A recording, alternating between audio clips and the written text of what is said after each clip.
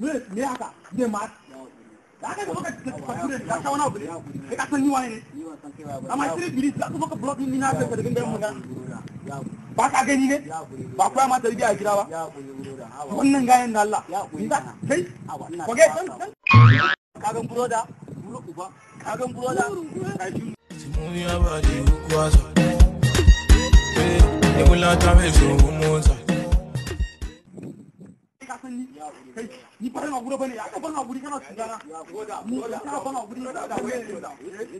wannan gayan ne wai na dan bangaje ne sai da abba ne mu abba ai mu yan wani me yake faru eh na dan bangaje sai yi yake wai wai na ke ba na zo fada ba ne ban san lokacin da ƙirji na a ɗaya kwankwaso a gefen mara a ya. ya muna ka fada na ya zo ban ki ne man bai ce wurin ka ka ka